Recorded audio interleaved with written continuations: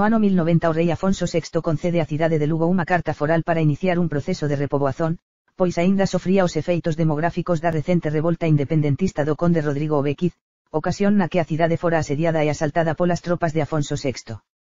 En 27 de marzo de 1091, a idade de 46 anos, fina en Cospeito, Terracha, o conde de Traba, Froila Bermúdez, durante unha visita ao seu fillo Gonzalo Froilaz, entón bispo de Mondoñedo. Coa morte do fundador da Casa de Traba, cuso señorío abranse a norte do río Tamara, actual Tambre, dai que se xa coñecido como Trastamara, a chefía da poderosa casa e herdada polo seu fillo Pedro Froilaz. Ese ano ten lugar o casamento de don Raimundo de Borgoña con dona Urraca, filla lesítima de Afonso VI. Na altura dona Urraca era a lesítima herdeira da coroa de Galiza León e Castela, polo que, co casamento, don Raimundo pasa a ser visto como o futuro monarca.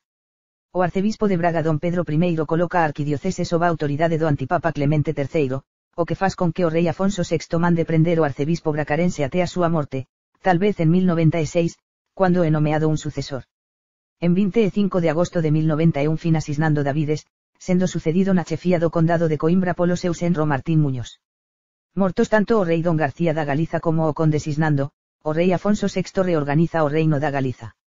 En primeiro lugar, na área comprendida entre os ríos Miño e Mondego críanse os condados de Coimbra, Arouca e Porto, sendo este último entregue a don Enrique de Borgoña. En segundo lugar, perante a crescente ameaza almorávida na fronteira sul, en 1092 o rei Afonso VI confía ao seu senro don Raimundo e a súa filla dona Urraca ao goberno da Galiza, concedéndolles, como título condal, o reino da Galiza.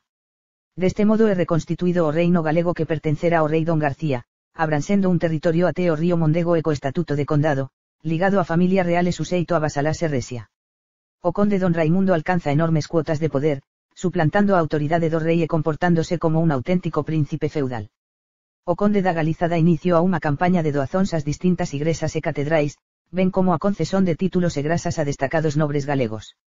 Con isto procura o apoio das dúas grandes forzas galegas, a nobreza e a igresa, a fin de conseguir unha mellor posición na sucesión do seu sogro, o rei Afonso VI.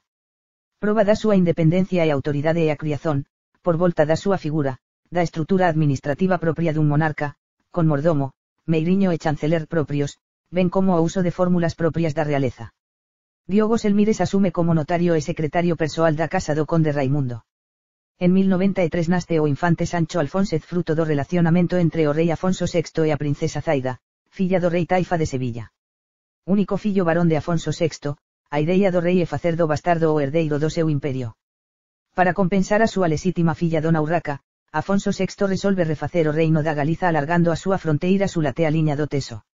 Así sendo, aproveitando as discordias entre os almorávidas e os reinos taifas da rexión do Teso, Afonso VI lanza unha ofensiva contra os mouros de Santarém, que entregan as cidades de Santarém, Lisboa e o castelo de Sintra en troca de auxilio militar contra os almorávidas. Entre 30 de abril e 8 de maio de 1093 Afonso VI toma pose das prasas de Santarém, Lisboa e o castelo de Sintra, que, ato continuo, son cedidas a don Raimundo de Borgoña, colocándose o rei Taifa de Badajoz sob a protezón de Afonso VI. O conde don Raimundo de Borgoña delega en Soeiro Méndez da Maya, rico home e membro da liñase dos Maya, o goberno do recén criado condado de Santarém e nomea Diogo Selmires, admirador da Orden de Cluny, como administrador eclesiástico dase vacante de Iria Flavia Compostela. O condado de Coimbra, até agora fronteirizo, desaparece como unidade autónoma. Dona Teresa, filla bastarda de Afonso VI, é en casamento a don Enrique de Borgoña a idade de 16 anos. Nun diploma datado de febreiro de 1094, o conde don Raimundo de Borgoña aparece dominando en Coimbra e en toda a Galiza o cedero mosteiro da Bacarisa, Meallada, na beira litoral, a catedral conimbriguense. Ese ano os musulmanos da taifa de Badallouce revoltanse contra o seu señor pola cumplicidade cos cristaos e peden auxilio dos almorávidas que, nun contraataque, retoman Lisboa e Sintra e cercan Santarém. Para reconquistar a liña do Teso he lanzado un grande exército comandado por don Raimundo, auxiliado con tropas do condado do Porto capitaneadas por don Enrique. Porén, o ataque é unha derrota militar total de don Raimundo perto de Lisboa coa perda de Santarém, Lisboa e Sintra. Na retirada desa campaña militar para a quenda liña do Mondego destaca a lideranza de don Enrique de Borgoña. Por enquanto, Afonso VI designa ao freire cluniacense francés Dalmacio para ocupar o bispado de Iria Flavia Compostela, vago desde a cesazón de funzóns de Diogo Pais. En 1095 Afonso VI e o conde don Raimundo conceden privilexios á cidade de Santiago de Compostela e a súa populación, nomeadamente os comerciantes locais, o que irá favorecer o seu engrandecimento e enriquecimento. Dez anos depois será confirmada a cidadanía plena de todos os moradores da capital galega, o que contribuirá para impulsar a súa demografía. Con esta medida a cidade será poupada de toda unha serie de obrigazóns e taxazóns que pesaban sobre ela, entre as quais, a isención no pagamento de impostos como a fosadeira, lutuosa e caritel, ficando isentos de acudir o fosado, isto é, a guerra. No ano 1095 os condes da Galiza confirman os límites jurisdicionais da diocese de Tui, confirmando o seu bispo, Aderico, o señorío da cidade ben como o castelo e o señorío de Sobroso, Vila Sobroso, Mondariz. En febreiro o conde don Raimundo, que goberna en Coimbra a título persoal, concede foral aos moradores de Montemor Robello. En 13 de novembro o rei Afonso VI concede carta foral a Santarém. En 5 de decembro de 1095, durante o concilio de Clermont, França, o Papa Urbano II aproba a Bula Veterum Synodalium, que establece a desaparición da histórica sede Iria Flavia, asumindo a de Santiago de Compostela todas as súas propiedades e dominios como cabeceira única do bispado. Alén diso, o bispado pasa a depender únicamente da autoridade papal, pois até agora dependía da metropolita de Braga, polo que doravante o bispo compostelense será escollido polo Papa. Santiago de Compostela é confirmada como nova base apostólica de Occidente. Logo da morte do bispo Dalmacio, Diogo Selmires é nomeado responsável pola administración da Igrexa compostelense. En 18 de decembro de 1096 dona Teresa casa con don Enrique de Borgoña, a quen o rei concede, como dote, o condado portucalense, isto os territorios galegos entre os ríos Miño e Mondego, abarcando os antigos condados de Portugal e de Coimbra, Santareme por outros dominios que até entón foran administrados xunto coa Galiza polo conde don Raimundo de Borgoña. A división do reino da Galiza que Afonso VI tiña preparado para dona Urraca en dous condados, Galiza e Portucale, pode responder á incompatibilidade militar ou á indisimulada ambizón mostrada polo seu senro don Raimundo de Borgoña.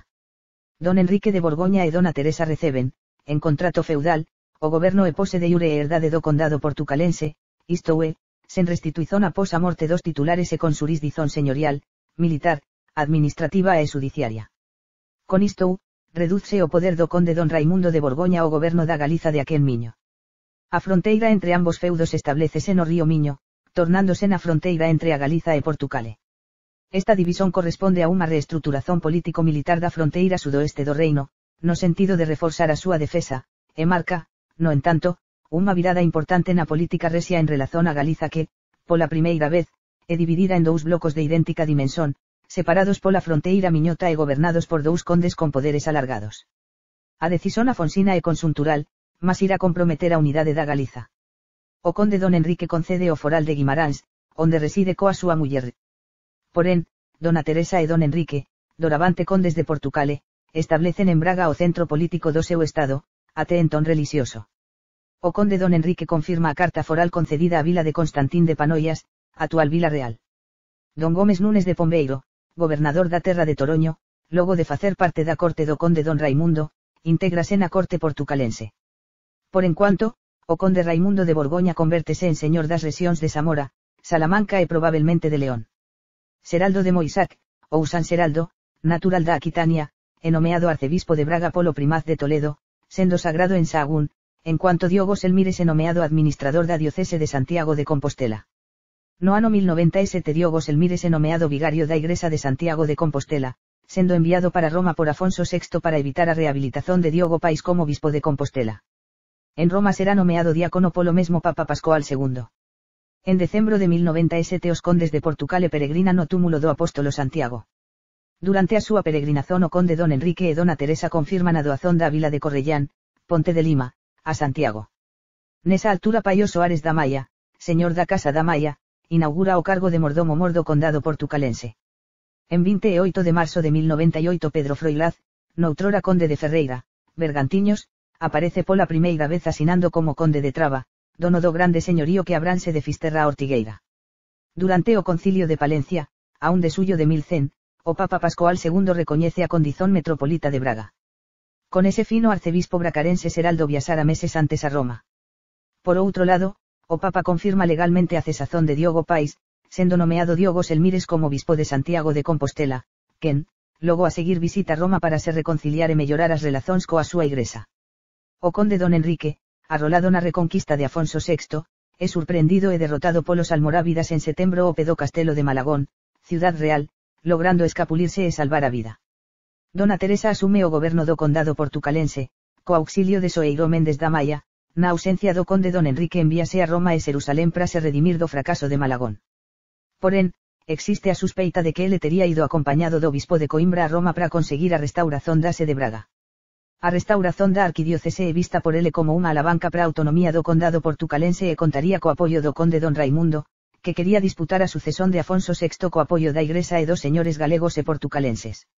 Afonso VI, que tería casado ese ano coa princesa Zaida, legalizando así o seu fillo e herdeiro, ordena ao conde Rodrigo González Girón a reconstrución e repoboación da antiga Civitas Augusta, que doravante é batizada como Cidade Rodrigo. En 21 de abril de 1101 obispo Selmires é sagrado polo obispo de Magalona, França. O novo bispo conta coa confianza dos condes da Galiza e coa protezón da Orden de Cluny, moito influente en Roma e na corte de Afonso VI. A un de maio de 1102 o Papa Pascual II toma sob a súa especial protezón todas as igresas da diocese de Santiago de Compostela inseridas noutras dioceses, proibindo a súa apropiación por parte das autoridades eclesiásticas. Logo a seguir, o bispo Selmires obtén autorización papal para facer cardeais oito canónigos de Santiago e organiza o roubo das reliquias de Braga, episodio coñecido como o pío latrocinio, levando para Compostela os restos dos santos Facundo, Silvestre, Cucufate e Santa Susana. O arcebispo de Braga apresenta queixa ao Papa, ordenando Pascoal II a devolución á Igrexa de Braga as partes que Compostela detentaba. Na súa resolución, o Papa refere que a mitra compostelense podería conservar as súas propiedades nos outros lugares da diocese de Braga, correspondéndolle a esta diocese as funcións eclesiásticas, a imposición de dícimos e outros tributos. Rodrigo Froilaz, irmão de Pedro Froilaz de Traba e membro da curia do conde don Raimundo de Borgoña, e nomeado almirante dos portos da Galiza co cometido de guardar as costas galegas dos ataques normandos e musulmanos. Don Raimundo restaura a diocese de Salamanca, nomeando como bispo o cluniacense Serónimo de Perigo. Na batalla de Arouca as forzas do conde Don Enrique e de Gasmóniz, derrotan os musulmanos de Lamego, liderados por Echa Martín. O rei Mouro é capturado, acabando por se converter catolicismo e ser nomeado señor de Lamego polo conde Don Enrique. En 1103 Afonso VI otorga o título de príncipe de Toledo ao infante Sancho Afonsés, evidenciándose a escolla do infante bastardo como sucesor do seu imperio. Esta decisión é tomada contra a opinión dunha parte importante dos seus magnatas, encabezada polos máis directamente agravados, a súa filla Dona Urraca e os condes da Galiza e Portucale. En febreiro o conde Don Enrique encontrase en Sahagún co seu primo o conde Don Raimundo. Don Enrique tenta defender a liña do Teso contra o avanzo almorávida e, perto de Santarém, he trabado un confronto militar, a batalla de Batalandi, entre musulmanos e cristaos. O Papa Pascual II recoñece en 1103 o primado de Braga, restablecendo a antiga metropolita, co arcebispo don Seraldo con surisdizón sobre as dioceses galegas de Mondoñedo, Lugo, Ourense e Tui, ben como sobre as portucalenses do Porto, Coimbra, Viseu e Lamego e as leonesas de Astorga e León. Porén, o arcebispo de Toledo reivindica e afirma os seus direitos sobre a diocese de Coimbra, a antiga sufragánea de Mérida, colocando nesta diocese un bispo fiel. En 1104 o bispo Selmires visita Roma para se entrevistar co Papa Pascual II a quen pede, pola primeira vez, a elevazón de Santiago de Compostela para ser metropolita. Embora o Papa recuse o pedido, Selmires volta a Galiza co palio, símbolo da dignidade arcebispal de Santiago de Compostela que non conseguira o seu antecesor, o bispo Dalmacio. En marzo de 1105 naste en Caldas de Reis o infante don Afonso Raimundes, fillo dos condes don Raimundo e don Urraca. A educación da crianza é confiada ao conde de Traba, don Pedro Froilaz. A ideia da sucesión masculina de Afonso VI no infante Sancho, afastando o conde don Raimundo da coroa, ten larga repercusión do ponto de vista político. O conde don Raimundo asina co conde don Enrique o chamado pacto sucesorio en que delimitan a división de influencias. Os termos do acordo establecen que o conde don Enrique recebería o territorio de Toledo e un terzo das súas riquezas a troco de sustentar don Raimundo na sucesión o trono castellano-leones. Segundo o pacto, no caso de imposibilidade de cumprimento da cláusula anterior, prevíase aínda a transferencia para o conde don Enrique o dominio da Galiza. En cuanto aos obxectivos políticos de don Raimundo son evidentes, os do conde don Enrique pasarían, na pior das hipóteses, por un alargamento substancial do seu condado, que era custa da rexión toledana, que da incorporación da Galiza a quen. Destarte sería reconstituído o condado que o sogro outorgara a don Raimundo abarcando o reino da Galiza. Do ponto de vista religioso o pacto entre os condes e aprobado pola abadía de Cluny, de facto, Hugo de Cluny era parente de ambos, suporte teórico do catolicismo e que se batía polo abandono das prácticas adulteradas dos primordios do cristianismo, o ver en deseñarse a hipótese dun rei meio musulmano, como sería o infante Sancho. Na altura de 1106 o conde don Enrique, que acaba de nomear Pedro Pais da Silva como mordomo mordo condado portucalense, gaña influencia política e aparece facendo parte da corte de Afonso VI. En 1107 Afonso VI legaliza como herdeiro o infante Sancho Alfónsez, único descendente masculino directo, o que constitui un varapau pras políticas da súa filla Dona Urraca e do seu neto Afonso Raimundes. O rei Afonso VI concedelle a Mitra compostelense o privilexio de cuñar moeda, converténdose a Casa da Moeda na primeira de carácter señorial. En 27 de maio fina, a idade de 57 anos, o conde don Raimundo Engrajal de Campos, Sagún, terras incluídas dentro dos seus dominios feudais. Acompañado nas súas derradeiras horas polo Diogo Selmires, obispo e o responsável polo traslado dos seus restos á Catedral de Compostela, onde o seu túmulo é colocado sob un arcosolio na fachada norte dase, do lado oeste da Porta Francisena, actual fachada da Cibecharía.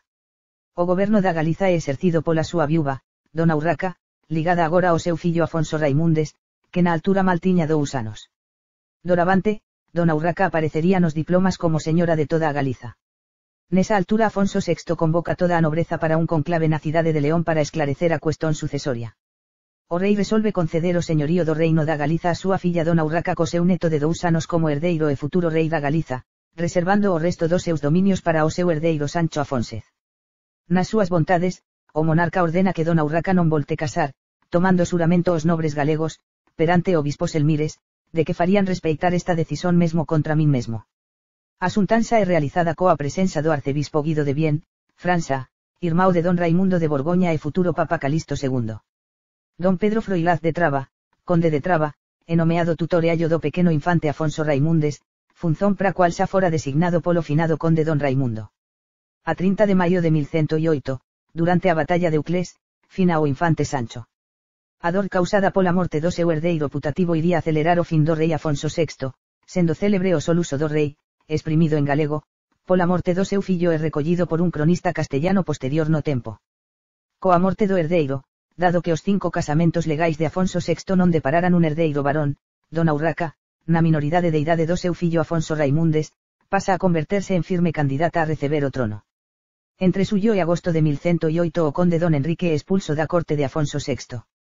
Logo da desaparizón, en tan breve lapso de tempo, dos bultos mellor colocados na liña sucesoria a coroa da Galiza León e Castela, e dada a minoridade de Afonso Raimundes, é posível que o conde don Enrique se vise como o único capaz de manter a unidade imperial valéndose da súa autoridade militar. Na secuencia deste plano, tería lugar a sanga do rei Afonso VI co conde don Enrique durante a curia resia de Toledo en que se estaba a definir a sucesión da coroa contrariando o rei, se callar o conde don Enrique se ia candidatado como resente de Afonso Raimundes, provocando así o seu banimento da corte. Por outro lado, a nobreza castellano-leonesa comeza a manobrar para que o escollido fose Gómez González, conde de Candespina, Segovia, un dos máis poderosos señores feudais de Castela. Segundo as crónicas da época, un dos conselleiros do rei, o Sudeu Cidiello, terlle ia trasladado ao rei a resolución da nobreza castellana. En suño de 1109 o rei Afonso VI celebra unha nova curia no castelo de Magán, Toledo, en presenza dos magnatas do reino e hierarcas da igrexa convocados para tratar a cuestión sucesoria. No seu testamento, o rei decide transmitir o trono a Dona Urraca como a lexítima sucesora, impóndolle casar co rei Afonso I o batallador, rei de Aragón e de Navarra desde 1104, pasando a coroa castellano-leonesa para un eventual fillo saído dese matrimonio. No caso de acontecer ese nascimento, o título de rei da Galiza sería reservado para o seu neto Afonso Raimundes. A decisión, que relega a Afonso Raimundes na liña sucesoria, atrás do rei consorte e dos posíveis descendentes do matrimonio, causa a contrariedade dos seus partidarios franco-galegos. O conde don Enrique, en discordancia coa solución procurada, abandona o conclave mesmo antes da súa conclusión airado del rei. Con certeza, o conde don Enrique verseía, asín, submetido, que era realeza do sobriño nun resucitado reino da Galiza que non deixaría de querer absorber o condado portucalense, quer de Dona Urraca, situación que non vería seguramente con bons ollos. Coa decisión de casar a súa filla cun home foráneo como Alfonso o Batallador, Afonso VI buscaba evitar brigas entre leoneses e castellanos, ben como garantir a defesa dos seus reinos da ameaza almorávida. Unha parcela da nobreza era partidaria de que Dona Urraca casase co conde de Candespina, mas acabou predominando o partido que representaba o conde castellano Pedro Ansúrez, partidario do casamento da herdeira con Alfonso I de Aragón. A un de suyo de 1109 o rei Afonso VI fina en Toledo a idade de 69 anos. Días depois, en 22 de suyo, a curia resia formaliza a designación de Dona Urraca como herdeira da coroa de Galiza Leome de Castela, sendo proclamada reina en León como Dona Urraca I. Ato continuo, Dona Urraca nomea Pedro Froilaz de Traba como conde da Galiza como medida urgente para resguardar o futuro do seu fillo Afonso Raimundes quen, allello a todas estis arillos, era criado polo conde de Traba no castelo de Santa María de Castrelo de Miño. No verá os almorávidas realizan un violento ataque contra a fronteira castellana, facendo con que ceda a oposición o casamento de Dona Urraca con Afonso I de Aragón. En outubro, en contra da súa vontade, Dona Urraca casa con Afonso de Aragón no castelo de Monzón de Campos, Palencia.